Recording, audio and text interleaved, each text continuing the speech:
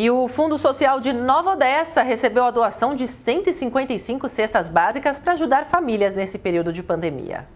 Criada para ajudar as famílias com dificuldades financeiras em razão da pandemia do novo coronavírus, a campanha Nova Odessa Decreta Estado de Solidariedade já recebeu a doação de mais 155 cestas básicas que foram entregues pela rede de supermercados Pague Menos e pelas empresas Unicap e Rainer Especialidades Químicas.